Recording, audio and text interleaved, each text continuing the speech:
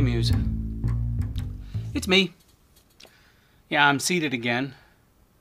So I fear we needed to have a little bit of a sit down. Uh, It's not that kind of talk, but um. So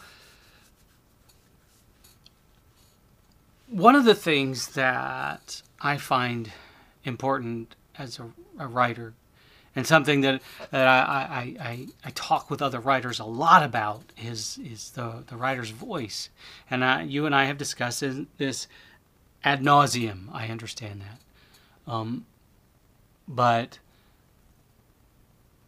something sort of came to light recently, and, and I wanted to talk to you about it directly. Muse, you. That's right. Ah, so I don't. I don't want this to come off the wrong way, because in this day and age, things are so easily misinterpreted and misrepresented. So, but anyway, I went through a period where I was I was trying to find a new book to read, and I, I found myself getting a chapter into a book and putting it aside because it didn't capture my attention, and that happened quite a number of times, and I I, I had to I, I finally stepped back and I I asked myself why. Why is this happening to me? Why am I having trouble finding an interesting book to read? Because I know that there are uh, hundreds of thousands of them out there. That may be an exaggeration. Maybe not. I don't know. I don't know the actual numbers. I have no scientific research to prove or disprove that number. But I stepped back and I, I thought about it, and thought about it, thought about it, and thought about it, and and I realized what I was the problem I was having with these books was that they all started sounding the same. That it, it could have been, for whatever reason, it could have been that the same author had written all of these books that I had just tried to, to read. And these were all fiction. So one would think that you pick up a book and it would be a completely different world to devour. And so I real what I realized was that and, and again I, I, am I'm trying I'm trying not to be presumptuous here. But I realized it seemed that those books were all written with this sort of kind of drab, innocuous, beige kind of voice. And it did they didn't grab my attention. And and this is just my own particular opinion, my own tastes. Uh, because I like words and and I like I like the rhythm of words. I like the way that that different words fit together and the, the interplay between them and, and the play between sentences and, and the, the way a good author can structure something such that it it has this melody and rhythm to it. And that's important to me as a writer. And I know that there are so many different schools of thought. There are, there are schools of thought wherein it is important that the author's voice do not get in the way of telling a story. And that's true. I, I, I think that the story needs to be elevated. But the story can be elevated at, while at the same time there being this, this wonderful sense of, of, of, of this, this blending of poetry and, and prose. And I find that a lack thereof gets in the way of me enjoying a book. I mean, think about, uh, you know, it, it's. I feel like I'm really putting my foot in my mouth here, Muse, but uh, if if we applied it to music, what we would have would be a bunch of bands that all sound the same. It's like every Nickelback song sounds exactly the same. And we don't want that. We want to I want to be able to go over to my turntable and put on an album and it sound completely different from the album I just listened to.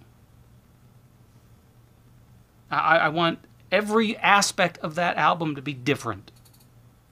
And I think that that's crucial to artists. because we have our voice and it needs to be heard. And so I I I want to I ask you am I serving your stories with a voice that's worthy of being read? With an artistic voice that's worthy of being read. And I think that's one of the things that we forget as writers is that, that we are artists and we need to apply a certain level of artistry to our work. All the while, that artistry cannot get in the way of telling a good story. You know, I like when a narrator, the narrating voice of a book, has a personality. Not so much so that it gets in the way of the personality of the characters because it becomes a big wash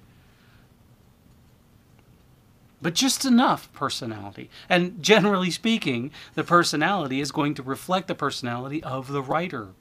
And I like to think that every artist out there has a has a personality that they can share with the world. And and I like to think, and I th- this is important to me. I'd like to think that when a reader has read enough of my books, they should feel like they know me. Does that make sense? that through the narration of a book, a, a reader who has never met me can, can stand with me and have a conversation and feel like they know me, feel like they've known me for a long time. And I think that's important because I do want to give away a little bit of me in my books. And I, I, think that that's one of the things a long time ago uh, when I, I, I asked my wife why she didn't read my books, her first and most honest answer was that that she hears me all the time. And reading my books is just like hearing me talk. So it, when she said that, I it, it was a verification for me that that my personality was coming through in my books, which means my writer's voice was strong. And, and I think that's something that some schools of thought would say to avoid. And I'm not saying that's wrong. I'm saying that's wrong for me.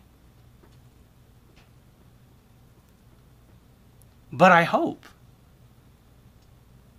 that over the years that I have developed a voice strong enough to stand up to your stories because I know your the, the, the ideas that you give me are amazing. And I, I just hope I'm doing them justice with my voice. I really hope that doesn't come off pretentious because I'm not pretentious. That's what I got, Muse. I'll let you think about it.